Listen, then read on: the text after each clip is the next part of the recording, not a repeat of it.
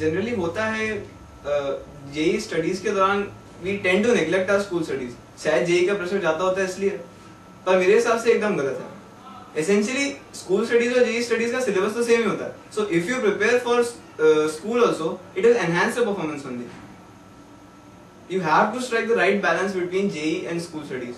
And finally, I would say do not ignore your school studies just for JE studies. They both go hand in hand. The most important thing is to identify your strengths and weaknesses as soon as you can. Your strengths basically decide your uh, selection, and your weaknesses decide your rank. So you must identify your strengths and uh, start working on them, but do not leave your weaknesses, cause as mentioned, they decide your rank. Now, do not get overconfident on your strengths, otherwise they may lead to your downfall. Uh, one more thing what students used to do is like they leave out trivial topics. Do not do that because uh, questions from every topic are asked in JEE. So to sum up, do not leave trivial topics and do not rely on selective studies. The JEE paper is different from state level examinations in a way that it is not formula based, it is much more conceptual. So, I would suggest that most students are in a dilemma whether to practice a lot of questions or to concentrate on quality based questions. What I would say is that in the initial stages, begin with practicing quality based questions, questions which test your conceptual understanding. In fact, even though they may take more time, they are those questions which spur you on to think beyond the formulae. Remember one thing it is very important to practice questions which are theoretical, not just numerical, because these questions improve your funding, they make them stronger. However, once you achieve maturity in a particular topic, which you will, of course, after having practiced, uh, after in fact having done some conceptual questions, begin practicing a large number of good questions, and this could be even done towards the end of your preparation.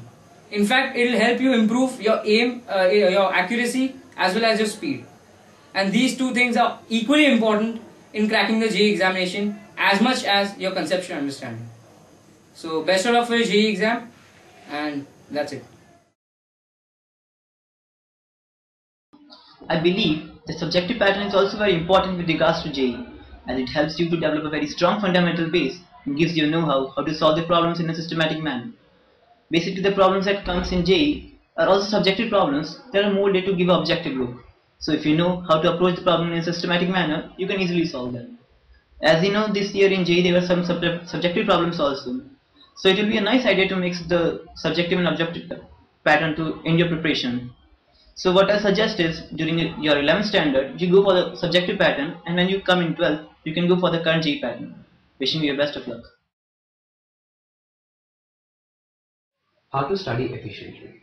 Now one important point that I would like to make here is keep your concentration levels optimal. Now what, what do I mean by keeping concentration levels optimal?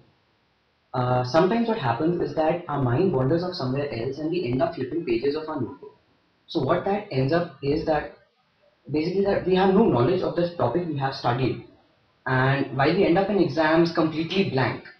So one thing that used to help me in this is basically making notes. Now making notes used to make me co- concentrate at that very moment and also just before the exams I had something very handy to revise on. Now that was something important I felt. Another thing I felt was regularity is really important because more, as concepts as well as applications of these concepts need to be cleared out as fast and as they are taught. So I guess it is a must regularity. And well, yeah, that's it. Best of luck for you.